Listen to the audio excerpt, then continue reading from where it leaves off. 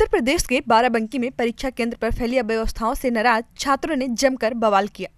हंगामा करते हुए छात्रों ने पहले कुर्सियाँ तोड़ी, फिर कापियाँ भी फाड़ कर फेंक दी। हंगामे की जानकारी मिलते ही एसडीएम और एडिशनल एसपी मौके पर पहुँचे और किसी तरह स्थिति को अपने काबू में लिया। विश्वविद्यालय से जो कंट्रोलर ऑफ़ एग्जामिनेशन आए थे, उनकी संस्तुति पर फ़िलहाल परीक्षाएँ निरस्त कर दी गई हैं अगली तिथि तक जो विश्वविद्यालय द्वारा नियत की जाएगी। आज जो जो जितने स्टूडेंट एग्ज़ाम देने आए थे, उनका आरोप ये था कि हमकी बैठने की व्यवस्था सही नहीं है, टॉयलेट और पानी की व्यवस्था सही नहीं है, और जो तो गाड़ियाँ लेके आए, उसकी पार्किंग व्यवस्था सही नहीं है।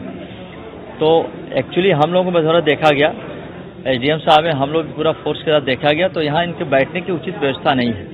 उसको लेकर के यहाँ के जो प्रशासन द्वारा और स्कूल प्रशासन द्वारा इस परीक्षा को कैंसिल कर दी गई है।